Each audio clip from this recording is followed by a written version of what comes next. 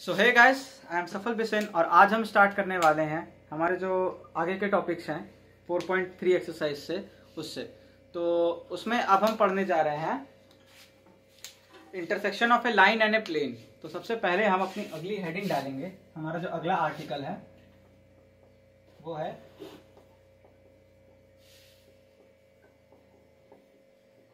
intersection of a line and a plane. किसी plane और line का इंटरसेक्शन से हमको क्या रिज़ल्ट मिलता है? ठीक? तो इसको सबसे पहले आपको डायग्राम के थ्रू समझना पड़ेगा कि लाइन और प्लेन के इंटरसेक्शन हमारा जो है दिखता कैसे है। तो मान लेते हैं कि ये हमारा कोई प्लेन है ठीक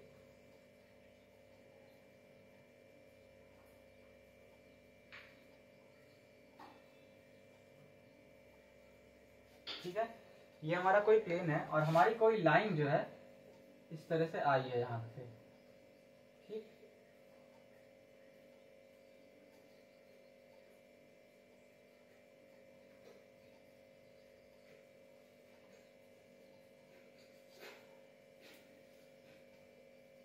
और यहाँ से जो है प्लेन पे वापस निकली ठीक? जी।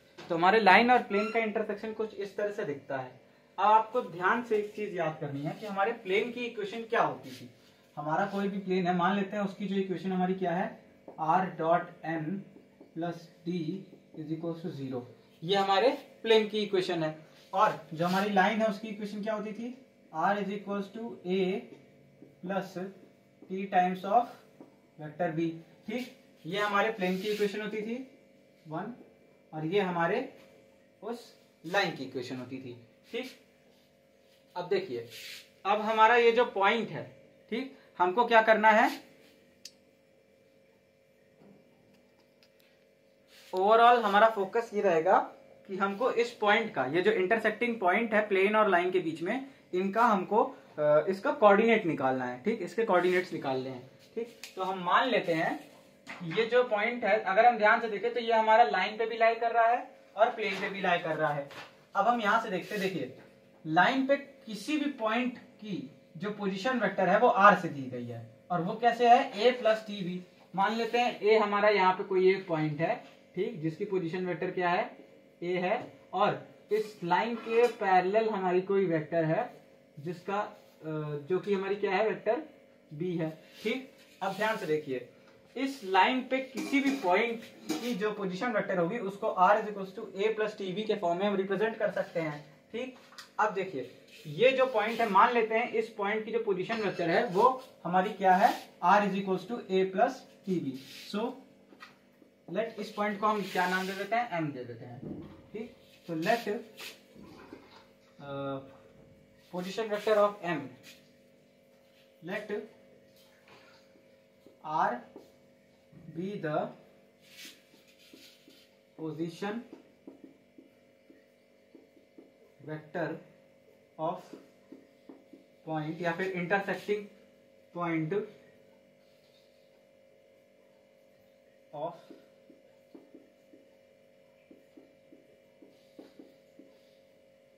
intersection point of line and plane तो वो है हमारा one and two plane and line ठीक? वन एंड टू मान लेते हैं हमने क्या माना है कि आर हमारा पोजिशन वेक्टर होगी एम की। अब ध्यान से देखो, अगर ये एम की पोजीशन वेक्टर हमारी इस फॉर्म में होगी ए प्लस टी बी के फॉर्म में, और ये पॉइंट हमारा प्लेन पे भी लाई कर रहा है, इसका मतलब कि ये जो हमारा पॉइंट है, ये हमारे प्लेन की इक्वेशन को भी सेटिस्फाई करेगा, ठीक? तो अब हम आर की वैल्यू को आर ये प्लेन की इक्वेशन पे रख के वेरीफाई कराते हैं। देन तो यहाँ पे लिखेंगे then putting R is equal to A plus T B putting R is equal to A plus T times of B in equation one we get हमको क्या मिलता है? वी गेट अगर वहाँ पे रखे तो A plus T B dot product with N plus D is equal to zero ठीक? यहाँ से हम क्या निकालेंगे? यहाँ से हम जो है टी की वैल्यू निकालने की कोशिश करेंगे।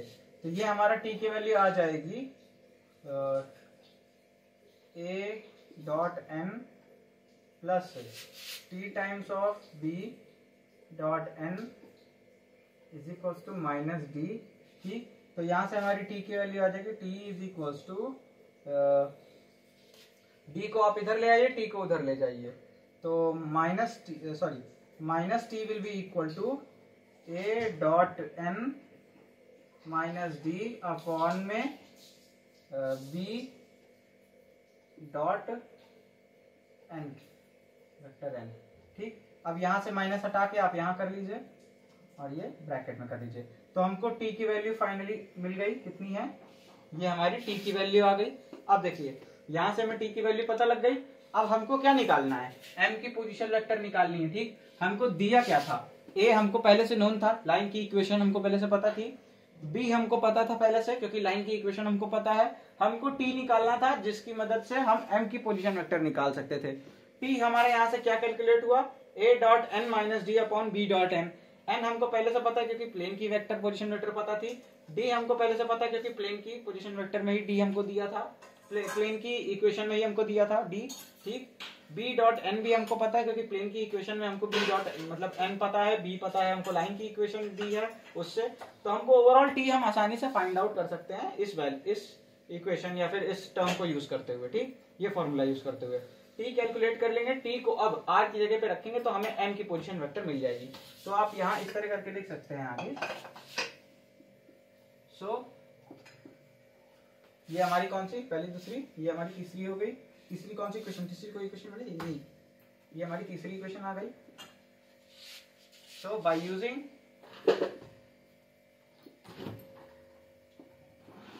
three in equation number two एक मिनट। हम्म तो यहाँ से हम t की वैल्यू को इक्वेशन नंबर टू में रख देंगे। तो यहाँ से हमें r जो आएगा वो क्या है? M की पोजीशन वेक्टर है। So position vector of m will comes to be a plus t. T की वैल्यू क्या है? Minus A dot N minus D minus of A dot N minus D एक मिनट एक minute. यहाँ plus हो जाएगा ये। वही मैं कहूँ। प्लस हो जाएगा, ठीक अपॉन में B dot N B dot N into wait ये इसका किससे इंटू ये सब हमारा क्या आएगा? एक एक न्यूमेरिकल वैल्यू आएगी, यानी कि एक कांस्टेंट वैल्यू आएगी। स्केलर क्वांटिटी आएगी एक, और इसको हम वेक्टर बी से मल्टीप्लाई कर देंगे। तो ये हमारा आ जाएगा position vector of the intersecting point of the या फिर कह सकते हो position vector of the intersecting point of the plane and line ठीक? तो ये आपका एक आर्टिकल हो गया। अब आप इसको नोट कर लीजिए और तब तक मैं देख लेता हूँ आपका अगला आर्टिकल क्या है।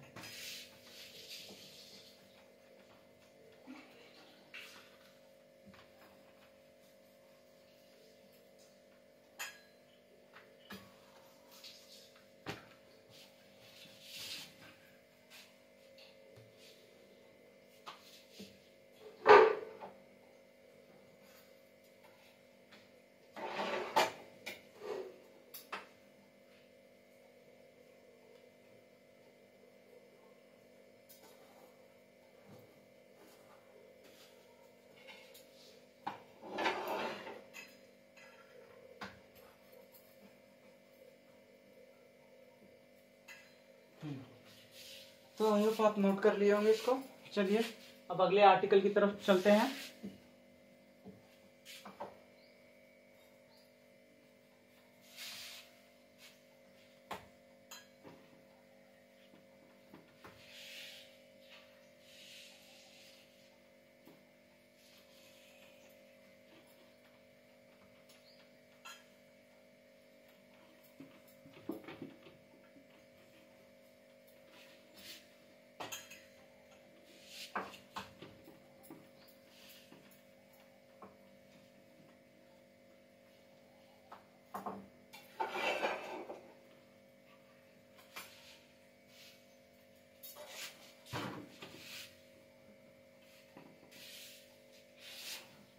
आपका अगला आर्टिकल है inter image of a point in a plane mirror ठीक? तो हेडिंग डालेंगे।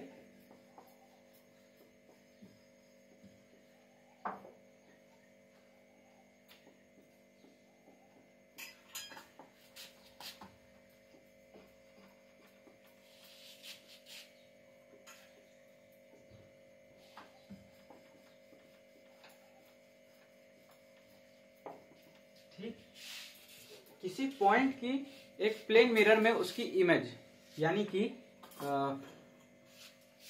आपको इस तरह से एक मिरर ले लेना है।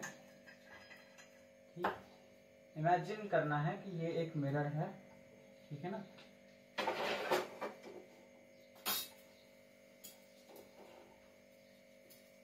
ये हमारा एक मिरर है। यहाँ पे आपका एक पॉइंट है। मान लेते हैं ये पॉइंट की पोजीशन वेक्टर ए है। ठीक? और इसकी अब अगर इमेज देखनी है इस मिरर में तो ये कहीं यहाँ कर रहा होगा और उतनी ही दूर जाके बनेगी इसकी इमेज ठीक? यानी कि हमारा जो ए पॉइंट होगा, इसकी इमेज कहाँ बनेगी? इस मिरर से उतनी ही डिस्टेंस पीछे बनेगी, जितना डिस्टेंस ये इस मिरर से ए पोजीशन वेक्टर होगा ए पॉइंट हमारा होगा, ठीक? ये ए है, ठीक है ना? अब देखिए ये मान लेते हैं हमारा क्या है? ये ए डैश है। ए डैश मान लेते हैं। अब ध्यान से देखिए, ये पॉइंट ये पॉइंट और ये जो पॉइंट है,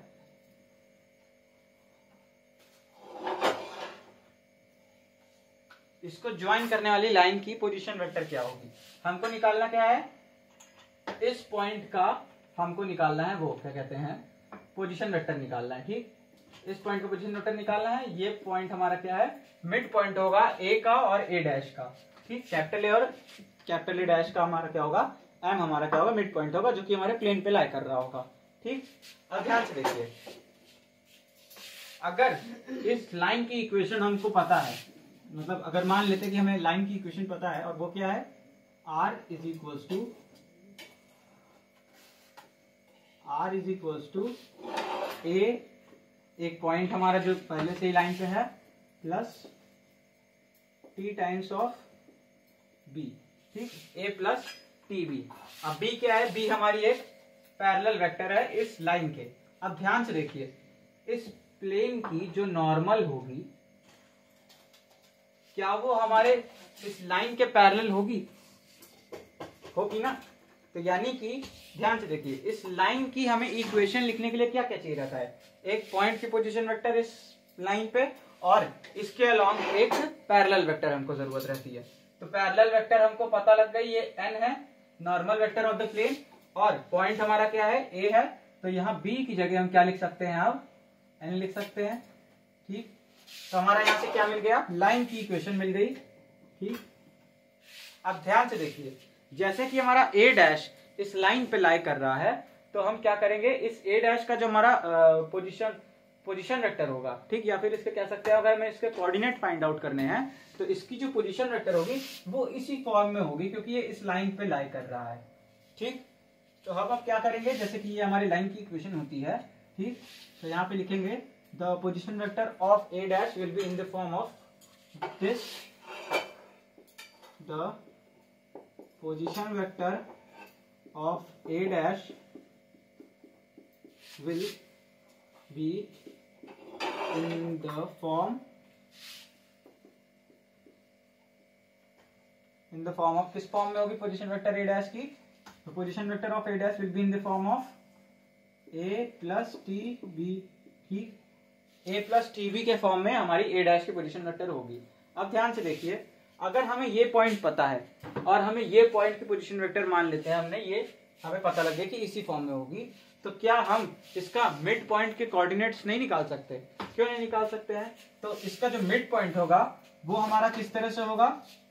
तो जो m के position vector of m will be equal to a point a की प्लस ये वाला point a dash a plus T times of b divided by two mid point है ना, क्योंकि m. M कोऑर्डिनेट हमारा मिड पॉइंट है दोनों का तो उन दोनों की पोजीशन वेक्टर डिवाइडेड बाई मतलब ऐड कर देंगे और फिर डी टू से डिवाइड कर देंगे तो हमें एम का पोजीशन वेक्टर पता लग जाएगा। ठीक? अब यहाँ से देखिए पोजीशन वेक्टर ऑफ़ एम हमें आ गई, ठीक? इसको हम क्या कह सकते हैं? एम जो हमारा है, वो हमारे प्लेन पे लाई कर रहा है, ठीक? और हमारी प्लेन की इक्वेशन हमें क्या गिवन है? कि मान लेते हैं हम प्लेन की इक्वेशन गिवन रहती है, ठीक? तो इस प्लेन की इक्वेशन क्या है हमारी? R dot N plus B is equal to zero ये हमारी प्लेन की इक्वेशन हमको गिवन है। ठीक? अब ध्यान से देखिए। अब जैसे कि ये हमारा एम पॉइंट उस प्लेन पे लाई कर रहा है तो हमारा जो एम होगा, वो हमारी उस प्लेन की इक्वेशन को सेटिस्फाई करना चाहिए। इसका मतलब कि एज यहाँ पे आप कई साइड में लिख लेंगे, इस तरह से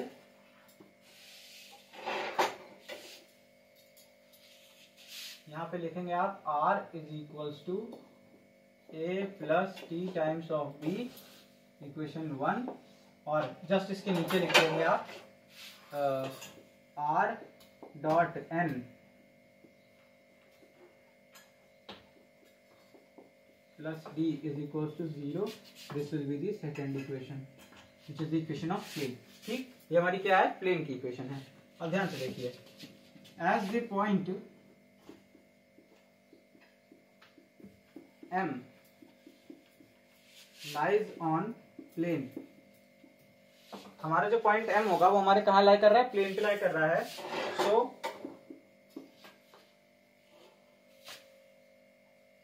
it will satisfy so its position it will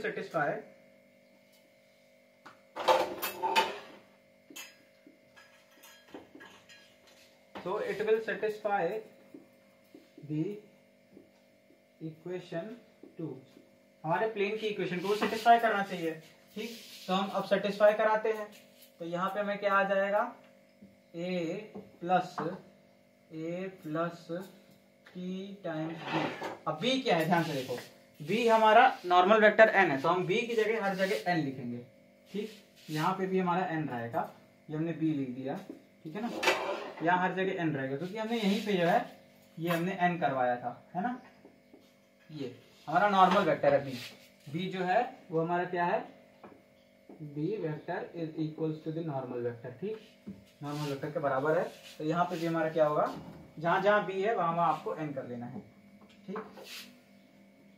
तो ये हमारे नॉर्मल वेक्टर के बराबर होगा डिवाइडेड बाई देखो, हमने लिखा R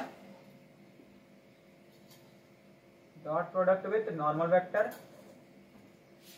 plus B is equal to zero ठीक?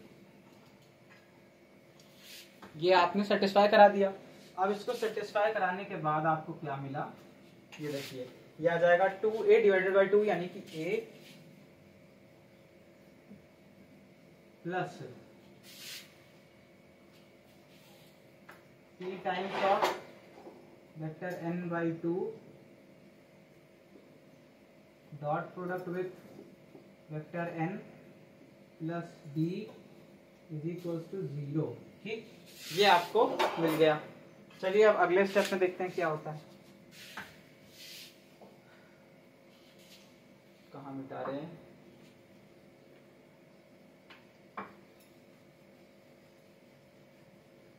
यहाँ से मिटाते हैं, ठीक? ऊपर वाली दो इक्वेशन लिखे रहने देते हैं, ठीक?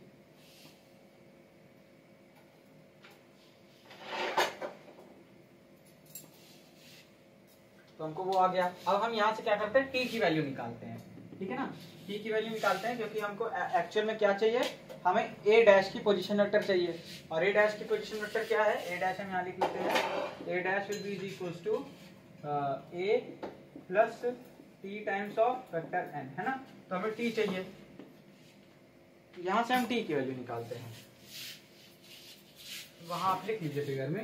इसकी पोजीशन वेक्टर क्या है? A plus T times of vector N ठीक?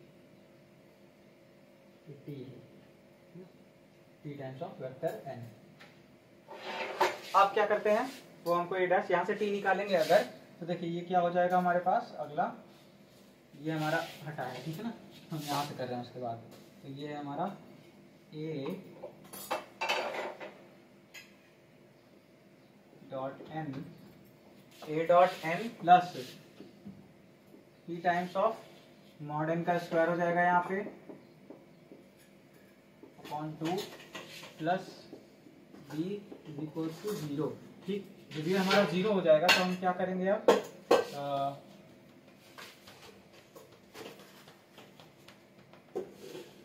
आ, इतना आगे आप टी की वैल्यू निकालनी देखिए। तो ये हमारा टी इधर माइनस में ले जाइए। तो A dot N plus D A dot N plus D is equals to minus T times of N के मॉडुलस का स्क्वायर अपॉन में टू क्या टू तो ये जो हमारा टी है अब यहाँ से हम टी निकालेंगे तो हमारा टी कितना आ जाएगा फाइनली तो T will be equals to A dot N plus D upon में मॉड एन का whole square into minus two ये हमारा टी आ जाएगा, ठीक? तो ज़्यादा छोटा बॉक्स बन गया।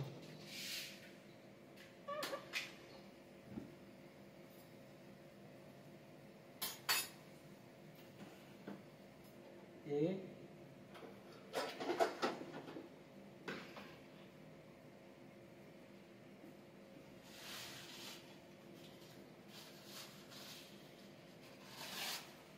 ठीक? तो ये हमारा टी आ जाएगा। अब इस टी की वैल्यू को हम क्या करते हैं? उस वेक्टर ए की पोजीशन वेक्टर में रखते हैं। ठीक? अरे सॉरी वेक्टर कह रहा हूँ। उस ए डैश की पोजीशन वेक्टर में रखते हैं। तो ए डैश की पोजीशन वेक्टर हमने उस लाइन पे क्या निकाली थी? देखिए, उस लाइन की जो इक्वेशन निकली थी ना, बताता हूँ कैसे। अगर भूल रहे हैं तो बता दूँ। उस लाइन की हमारी पोजीशन उस लाइन की इक्वेशन क्या है? R is equal to A plus T times of vector N because N is the normal vector और sorry l is L N is the parallel vector to that line ठीक? अब ये इस, उस line की equation होती है। A dash उस लाइन पे एक पॉइंट है तो उस पॉइंट पे हमारा जो मतलब उस लाइन पे जो हमारा पॉइंट है, उसका पोजीशन वेक्टर इस फॉर्म में होगा, ठीक? और ए डैश की कंडीशन से हमने टी की वैल्यू क्या निकाली है? ये ए डैश की कंडीशन इन द सेंस की ए डैश हमारा उतनी ही दूरी पे रहेगा, जितना दूर हमारा ए है, वो भी बट वो उस साइड रहेगा। तो फिर वहाँ से हम एम को प्लेन की कंडीशन लाई करवा के हमने टी की वैल्यू निकाली अब टी की वैल्यू यहाँ पे पुट कर देंगे तो हमें ए डैश की वो पोजीशन वेक्टर आएगी। तो ए डैश की position vector of A dash यानी कि इमेज पोजीशन वेक्टर किसकी है ये? Image of point A position vector of A point image of the position vector of point A यानी कि position vector of A dash ठीक है ना? ए डैश की जो पोजीशन वेक्टर होगी वो क्या होगी हमारी? ए प्लस टी की वैल्यू रखेंगे तो ये आ जाएगा हमारे पास माइनस टू प्लस गायब हो जाएगा? Minus two times of A dot N plus D upon N square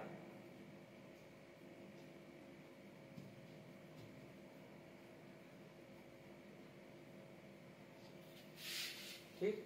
A minus T की वैल्यू रखा और फिर एन डॉट ले लेंगे।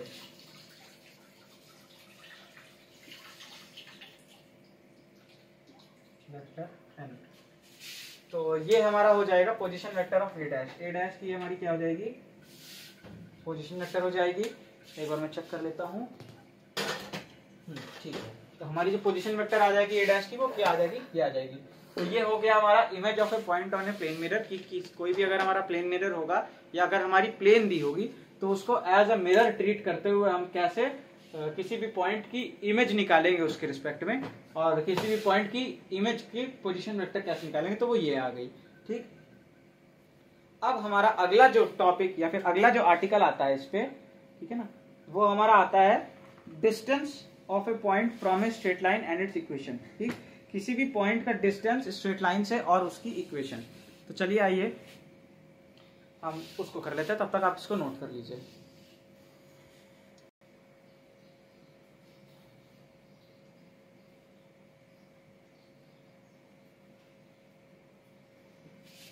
चलिए तो अब हेडिंग डालते हैं अगली।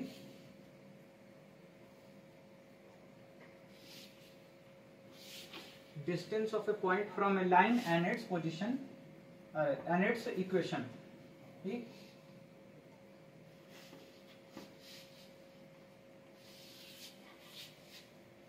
या आप इसको इस तरह भी लिख सकते हैं कि distance of a point from a line and the equation of the line joining the that point and the intersection point of the line चलिए डायग्राम से भी समझाता हूँ क्लियर होता है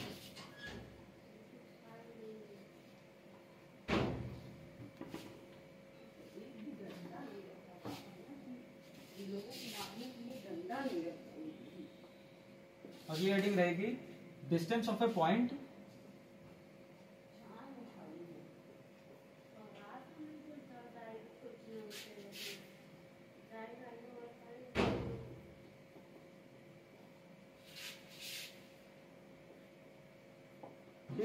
distance of a point from a line ठीक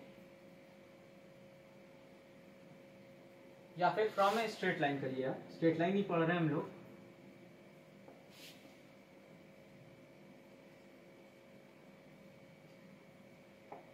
ठीक है चलिए, सबसे पहले हम डिस्टेंस निकालते हैं कि किसी भी पॉइंट का डिस्टेंस क्या होगा किसी स्ट्रेट लाइन से। तो मान लेते हैं हमारी ये एक लाइन है, ठीक? ठीक है? या सीधी नहीं बनी है ये। मान लेते हैं हमारी ये एक लाइन है, ठीक? और ये हमारा यहाँ पे कोई पॉइंट है, इसको हम क्या कहते थे? पॉइंट पी मान लेते हैं, ठीक? इसका हमको डिस्टेंस डिस्टेंस सबको पता होता है ना क्या होता है। किसी भी पॉइंट का डिस्टेंस हमेशा परपेंडिकुलर डिस्टेंस होता है, ठीक? कोई भी अगर लाइन से निकाला जा रहा होगा तो लाइन से perpendicular distance to that point और अगर प्लेन से निकाला जाता होगा तो प्लेन से perpendicular distance to that point तो हम क्या करते हैं? परपेंडिकुलर डिस्टेंस निकालते हैं इसका, ठीक? ये हमारा क्या है इसका? परपेंडिकुलर डिस्टेंस है, ये हमारा पॉइंट है, ठीक? और ये हमारा एक पॉइंट है जो कि लाइन पे गिवन है, इसको हम ए कहते हैं, इसकी पोजीशन वेक्टर ए है। ठीक है ना? तो हम ए से डिनोट करते हैं और इस पॉइंट का जो है, नाम है ए ठीक? अब देखिए, ये हमारा कोई पॉइंट पी है जिसकी पोजीशन वेक्टर हमको पी दी है और ये पॉइंट कौन सा है? पी है। ठीक? अब इस पॉइंट को और इस पॉइंट को ज्वाइन करने वाली लाइन हम मतलब एक लाइन खींच लेते हैं जो कि हमें इन दोनों पॉइंट्स को ज्वाइन कर रही है।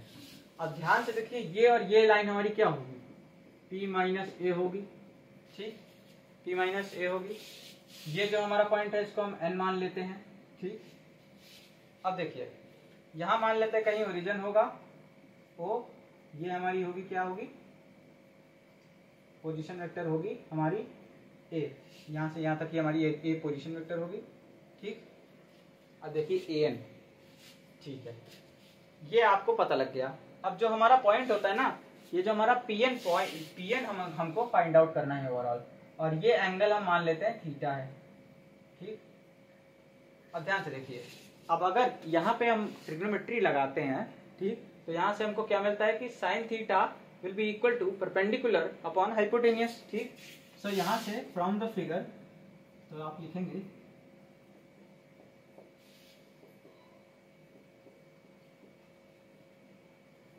फ्रॉम द फिगर ठीक? और ये हमारा जो, एक ये हमारी लाइन है, इसका पॉइंट दिया हुआ और इसकी एक पैरेलल वेक्टर भी दी हुई है, जो कि हमारी क्या है? वेक्टर भी है, ठीक है ना? ये हमारी, तभी तो लाइन की इक्वेशन होगी तो सबसे पहले आप लाइन की इक्वेशन लिख लेते हैं, ठीक? गिवन क्या है वो लिखिए। गिवन गिवन है आपका the equation of the line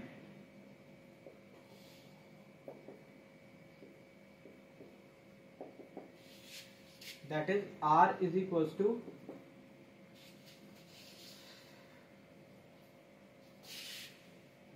a plus T times of B ठीक? अब लाइन की इक्वेशन हमें पता लग गई। अब लाइन की इक्वेशन के बाद हमको क्या दिया हुआ है? Position vector of the point from perpendicular distance we need to find from the the given line. ठीक है ना? तो position vector of point P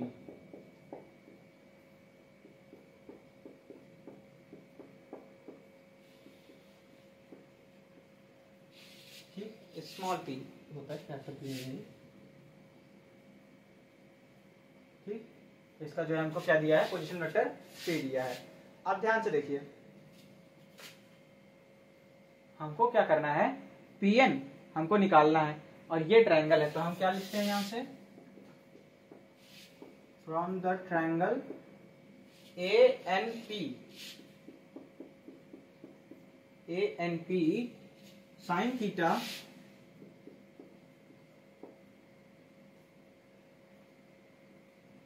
will be equal to sin theta is equals to perpendicular upon hypotenuse, यानी कि upon P N का ये mod है। देखिए साइन थीटा कोई भी न्यूमेरिकल वैल्यू मतलब हमेशा न्यूमेरिकल वैल्यू होती है, कोई वेक्टर नहीं होती, ठीक? तो पी एन अपॉन में हाइपोटेनियस यानी कि वेक्टर पी माइनस ए का मॉडुलस हम यूज़ करेंगे यहाँ पे, ठीक?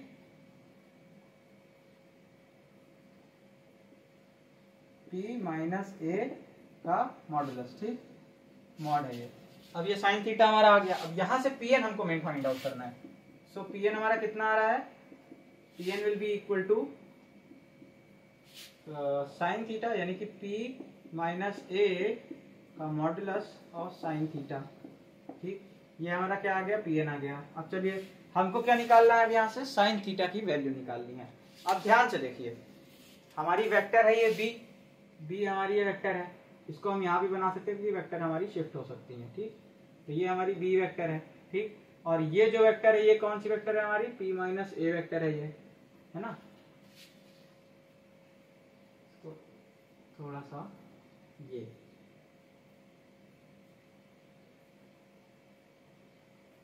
ये जो वेक्टर है, ये कौन सी वेक्टर है हमारी? पी माइनस ए वेक्टर है ये, है ना?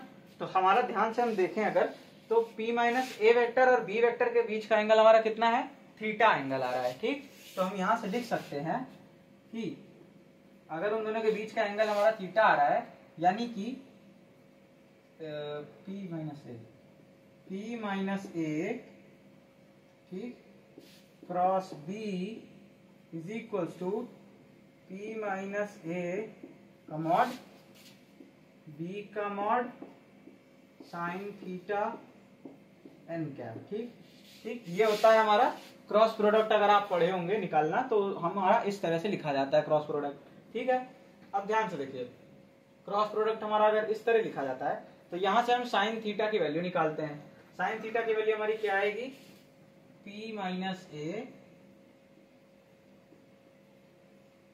cross with b divided by mod of P minus A mod of b. ये हमारी साइन थीटा की वैल्यू आ गई। N cap is equals to sine theta N cap अब बताते हैं sine theta N cap N cap actual में क्या है? ये दोनों वेक्टर्स के नॉर्मल का। नॉर्मल की डायरेक्शन में एक क्या है? ये जो जिस तरफ़ से मार्कर हमारा आ रहा है, जो मार्कर की डायरेक्शन ये देखिए। ये जो मार्कर की डायरेक्शन है, बाहर की तरफ़। ये उसका जो है क्या है? एक उस डायरेक्शन में एक नॉर्मल यूनिट वेक्टर है, ठीक है एन कैप ठीक? अब जैसे कि ध्यान से देखिए, ये वाला टर्म हमारा जो डिनोमिनेटर का ये तो हमारा एक स्केलर क्वांटिटी है, लेकिन जो ऊपर वाला टर्म है, ये हमारा स्केलर क्वांटिटी की बजाय ये एक वेक्टर क्वांटिटी है। इसीलिए यहाँ पे इक्वल के साइन को सही करने के लिए मतलब कि इक्वल के साइन को गलत न मतलब कहा जा सके, क्योंकि साइन थीटा तो एक हमारी जो है स्केलर क्वांटिटी होती है, इसके साथ इसीलिए एन एन कैप लगाया गया क्योंकि ये भी एक वेक्टर क्वांटिटी है तो दोनों साइड हमारा दोनों साइड हमारे क्या होने चाहिए? वेक्टर्स होने चाहिए, ठीक? अब ध्यान से देखिए, अगर हम केवल और केवल साइन थीटा की वैल्यू देखें तो हमें साइन थीटा की वैल्यू क्या आ जाएगी? इसका मॉड ठीक? है ना? यहाँ से अगर हम वेक्टर हटाएँ तो इसका हमें मॉडुलस लेना पड़ेगा। तो ये भी हमारा अब एक स्केलर क्वांटिटी आ गई, और ये भी हमारी क्या हो गई? एक स्केलर क्वांटिटी आ गई।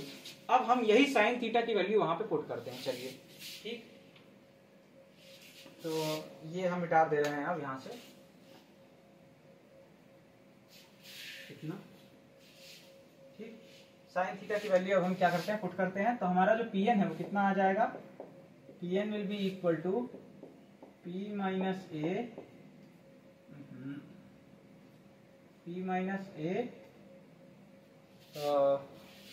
mod into sine theta की वैल्यू क्या है? Mod of P minus A cross B का मॉड अपॉन में।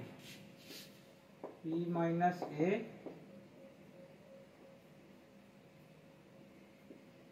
का mod into mod B P minus A से पी माइनस से हमारा कैंसिल आउट हो जाएगा। तो हमारे पास पी एन हमारा कितना आया? पी एन हमारा क्या? Perpendicular distance of the point P from the line ठीक so P N will be equal to P minus A का modulus sorry sorry sorry modulus नहीं है ये। P minus A cross B का modulus upon में P का modulus ठीक? तो ये हमारा क्या आ गया? Perpendicular perpendicular distance of a point from a given line किसी भी गिवन लाइन पे, किसी भी गिवन पॉइंट का परपेंडिकुलर डिस्टेंस किसी भी गिवन लाइन से, वो हमारा क्या आ गया? ये हमारा आ गया। अब ध्यान रखिएगा कि ये हमारा मॉडुलस लगा रहता है, क्योंकि Pn, हमारा एक डिस्टेंस निकल के आया है केवल, ठीक? ये कोई इक्वेशन नहीं, कोई वेक्टर क्वांटिटी नहीं, ये सिंपल और सिंपल स्केलर एक डिस्टेंस है, Pn मतलब पॉइंट P का इस लाइन से, ठीक? परपेंडिकुलर डिस्टेंस होगा, कभी भी हम डिस्टेंस की बात करते हैं तो। तो इसको नोट डाउन कर लीजिए और इसके बाद हम क्या करते हैं, ये जो हमारी पी और एन को ज्वाइन करने वाली लाइन है ना, इस लाइन की इक्वेशन निकालना, इसी में, इसी आर्टिकल में है, इसका अगला पार्ट होता है वो। पहली बात तो डिस्टेंस निकालना और फिर डिस्टेंस के बाद उस लाइन मतलब पॉइंट पी और ये वाले एन वाले लाइन को ज्वाइन करने वाली लाइन का डिस्टेंस निकाल मतलब इक्वेशन निकालने का तरीका अभी वो भी करते हैं, तब तक इसको आप नोट कर लीजिए।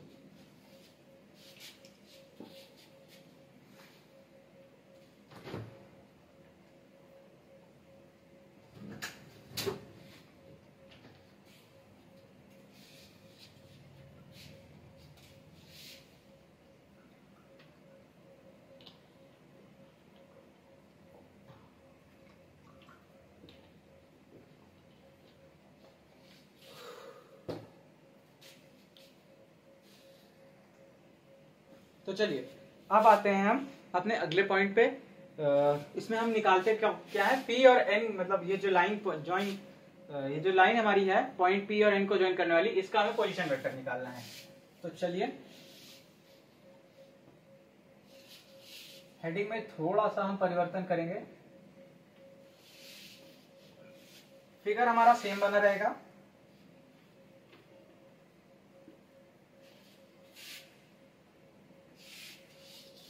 हेडिंग हमारी क्या रहेगी? डिस्टेंस की बजाय अब क्या होगा? इक्वेशन ऑफ़ द पॉइंट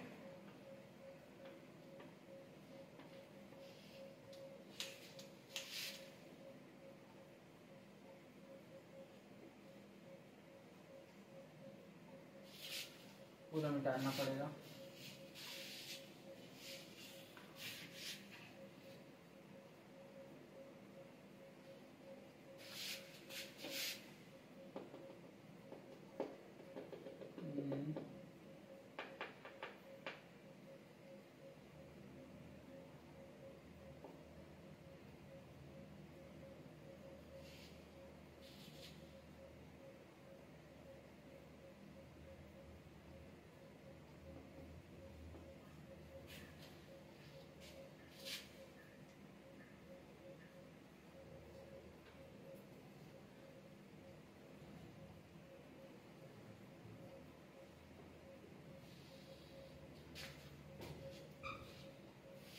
या पहली हेडिंग में ये कर सकते हैं आप।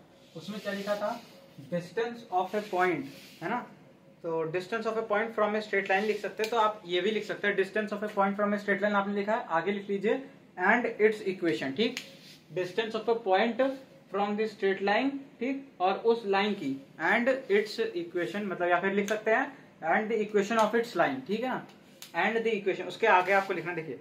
हेडिंग क्या रहेगी? Distance of a point from a straight line and the uh, and the equation and its equation ठीक है ना? एंड इट्स इक्वेशन कर दीजिए केवल। चलिए तो अब इसको हम बताते हैं कि आपका ये इसकी जो लाइन की इक्वेशन है वो कैसे निकलेगी। तो देखिए हमको पहले गिवन क्या था? हमको ये वाली लाइन की इक्वेशन गिवन थी ठीक? ये ये वाली लाइन की और ये पॉइंट की position vector P small P हमको वेक्टर स्मॉल पी हमको गिवन थी। अब हमें करना क्या है यहाँ पे? हमको एक पॉइंट हमारी इस लाइन पे पता है। अगर हम किसी तरह से एन की पोजीशन वेक्टर निकाल लें, ठीक? अगर हम किसी तरह से एन की पोजीशन वेक्टर निकाल लें तो हमें इस लाइन की भी पोजीशन मतलब कि हमें जो है इक्वेशन पता लग जाएगी। अब वो एन की पोजीशन वेक्टर कैसे करेंगे हम? यहाँ से हम क्या करते हैं? ओरिजिन से मान लेते हैं। ये हमारा एन है, ठीक?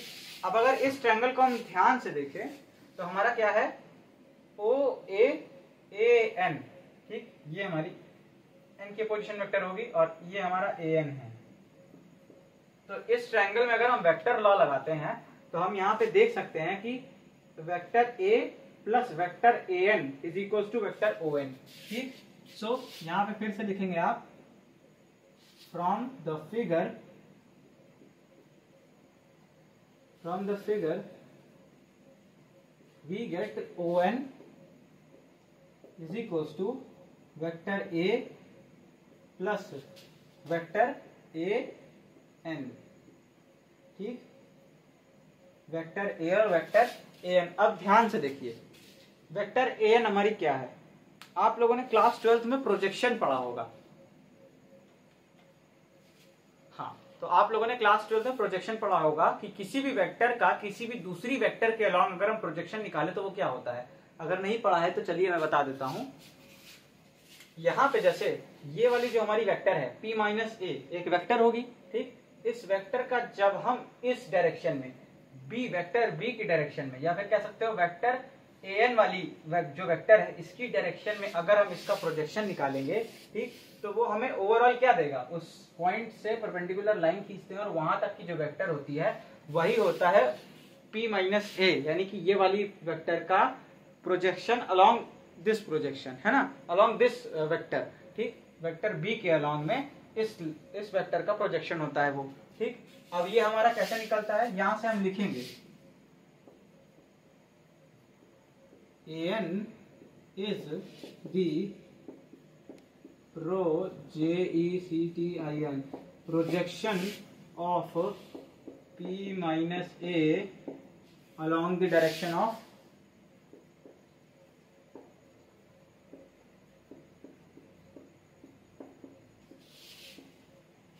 along the direction of, किसकी direction along the direction of vector b, ठीक? वेक्टर b की डायरेक्शन के along हमारा जो है क्या है? ए एन हमारा जो है एक प्रोजेक्शन मतलब p माइनस ए का जो प्रोजेक्शन होता है वेक्टर b के अलॉन्ग वही हमारी क्या है? वेक्टर ए एन है, ठीक? तो अब हमारा ये क्या होता है? So A N will be equal to vector p minus A dot product with vector b upon में मॉड b. यही होता है ना किसी भी वेक्टर के अलॉन्ग प्रोजेक्शन एक मिनट में चेक कर लेता हूँ।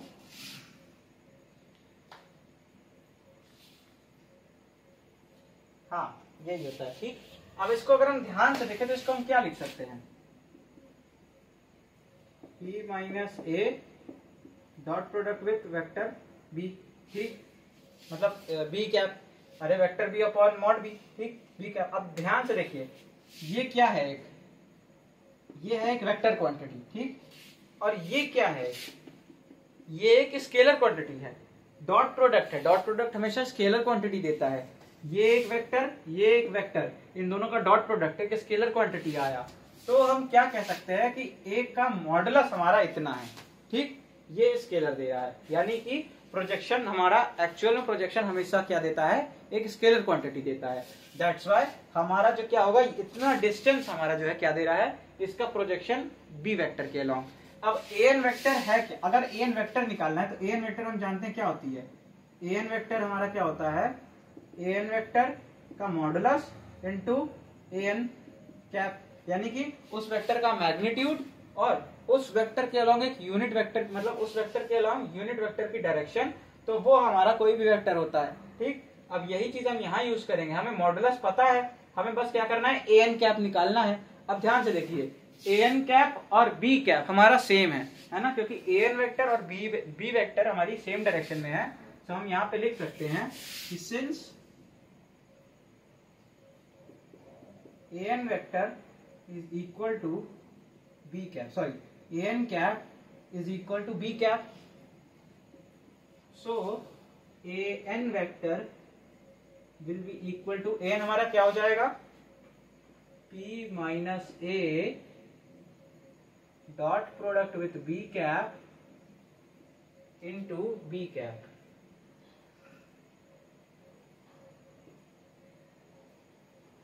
आप ये बी कैप बी कैप से कंफ्यूज मत होइएगा, क्योंकि ये जो पोर्शन है, ये हमारा मैग्नीट्यूड है। सो हटा देते कंफ्यूजन हो रही है मतलब दिख नहीं रहा होगा। ये जो हमारा इतना पोर्शन है ना ब्रैकेट के अंदर का, ये मैग्नीट्यूड है और ये डायरेक्शन है, ठीक? जैसे ये देखिए, ये मैग्नीट्यूड ये डायरेक्शन मैग्नीट्यूड की वैल्यू ये हमारी आई। तो अब समझ रहे होंगे कि ए एन हमारा कितना आ गया? ये हमारा ए एन आ गया, ठीक? अब ये हमारा ए एन आ गया है तो हम क्या कर सकते हैं? यहाँ से ओ एन की वैल्यू पे रख सकते हैं, ठीक? तो हमें ओ एन की वैल्यू मिल जाएगी, ठीक है? तो चलिए आइए हम ओवन की वैल्यू निकालते हैं अब यहाँ से। तो ओवन की हम ये लिखे रहने देते हैं। इतना आप नोट कर लीजिए और उसके बाद हम आगे चलते हैं। हम्म, तो नोट कर लीजिए। मिटा रहे तो चलिए। ये जो है हमारा रफ हो गया ठीक? अब एम की वैल्यू को वहाँ पे रखेंगे। इसको हम मान लेते हैं इक्वेशन नंबर अगर कुछ नहीं डाला था तो आप वन डाल दीजिए। और अगर डाला है तो उस हिसाब से आप इक्वेशन बढ़ाते चलिए। ठीक? और इसको हम मान लेते हैं इक्वेशन नंबर टू ठीक? अब यहाँ से putting the value of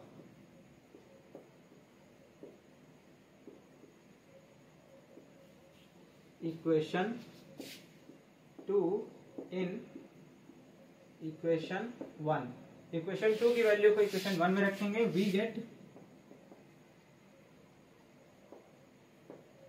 we get O N is equal to vector A plus vector P minus A dot product with vector B sorry ये वेक्टर बी कैपिटल ये तो ये हमारा क्या आ जाएगा? ओ एन आ जाएगा। ठीक? ये हमको क्या मिल गया? ओ एन मिल गया। अब हम क्या करते हैं?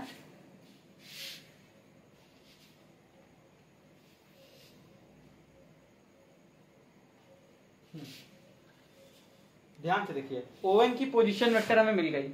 यानी कि हमको एक पॉइंट पता है, दूसरा पॉइंट पता है। अब हम इस लाइन की जो हमारी इक्वेशन होती है, वो आराम से निकाल सकते हैं। पहला पॉइंट हमको क्या पता है? Position vector of point point P is equal to vector P.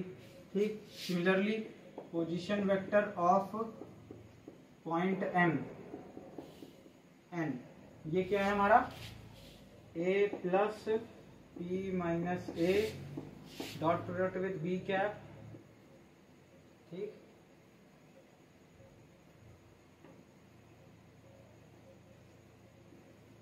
B cap ठीक? ये है। अब हम क्या करते हैं? ध्यान से देखिए। हमको पी एन लाइन की इक्वेशन चाहिए।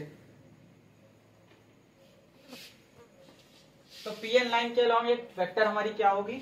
सो so, मान लेते हैं कि हमारी एक वेक्टर है पी एन के लॉन्ग पी एन तो पॉइंट पी माइनस एन रखेंगे, ठीक? तो point P minus point N ठीक? तो sorry sorry sorry P N है तो एन माइनस पी रखते हैं ना? Vector position vector of N minus P ठीक? या तो अगर ए भी रहता था तो वेक्टर बी माइनस ए होता था ना? तो ऐसे ही पोजिशन वेक्टर ऑफ़ एन रखेंगे तो एन क्या है पोजिशन वेक्टर ए है plus P minus A dot product B cap into B cap minus P ठीक? तो ये हमारा क्या आ जाएगा overall P N will be equal to A minus P plus plus P minus A dot with B cap B cap ठीक? ये आ गया आपका जो है, एक vector which is parallel to your line ठीक है ना? ये क्या आ गई हमारी? वेक्टर ठीक तो ये हमारी क्या है? पी है P minus P vector which is parallel to our line vector parallel to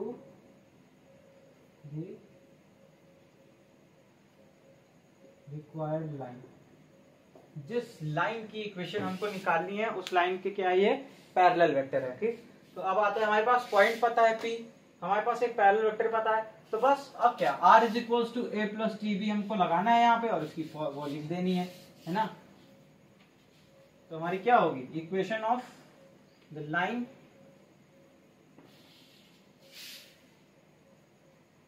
equation of the required line जो हमारी रिक्वायर्ड लाइन होगी, उसकी इक्वेशन क्या होगी हमारी? वो होगी हमारी आर इज़ इक्वल्स टू देखिए, यहाँ छोटा सा लिख देता हूँ R is equals to A plus T times of B ठीक? जहाँ पे ए हमारा कोई पोजिशन वेक्टर है तो R will be equal to position vector P ठीक? जो position non position vector P plus P times of क्या? ये पैरेलल वेक्टर यानी कि ये, यानी कि A minus P plus P minus A P minus A dot B B cap sorry यहाँ बी कैप होगा। ठीक? ये हो गया हमारा, है ना? देख लीजिए, कहीं छूटा तो नहीं कुछ? नहीं, ठीक है। तो ये हमारा क्या हो गया? ये हमारी उस लाइन की इक्वेशन आ गई। ठीक है ना? ये हमारी इस लाइन की इक्वेशन आ गई। ठीक? तो ये हमारे यहाँ पे तीनों आर्टिकल जो हमारे थे, खत्म होते हैं। और इसके बाद आप अगर ये तीनों आर्टिकल आपको समझ में आए तो आप कोशिश करिएगा कौन कौन सा क्वेश्चन लगाने की मैं बता रहा हूँ। अगले वीडियो में वो क्वेश्चन सॉल्व तो करवाएँगे ही हम बट फिर भी आपको बता दें कौन कौन से क्वेश्चन लगाने की हम कोशिश करेंगे।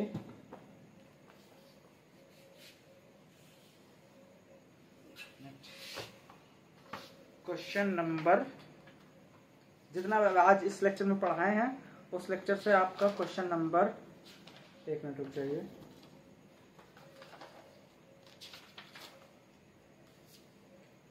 क्वेश्चन नंबर 18 सॉल्व हो जाएगा उससे आपका।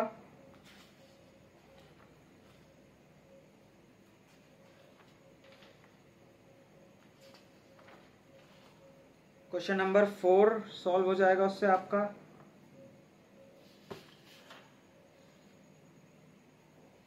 क्वेश्चन नंबर फाइव क्या है? Find the equation of straight line passing through the point A and parallel to the plane intersecting line में ठीक हो जाना चाहिए भी। चलिए देखते हैं। तो कोशिश करिएगा, जितने भी क्वेश्चन आपसे ये, इस, जो जो आर्टिकल हमने तीन करवाए हैं, इन आर्टिकल से लग जाए लग जाए। एक मिनट कॉल आ रहा। हाँ। तो चलिए कोशिश करिएगा कि जितने भी आप, मैंने आर्टिकल करवाए हैं, ये आपको लग जाए, और इसको अच्छे से एक बार प्रैक्टिस कर लीजिएगा, लिख लीजिएगा, अच्छे से प्रॉपर नोट्स बना लीजिएगा। ट्राई करिएगा क्वेश्चंस लगाने की, ये लगते कि नहीं कमेंट करके बताइएगा कि कौन कौन से क्वेश्चन इससे लग रहे हैं। चलिए, मिलते हैं नेक्स्ट लेक्चर में। कुछ क्वेश्चंस के साथ जिसको सॉल्व कराएँगे। 4.3 एक्सरसाइज के ही होंगे।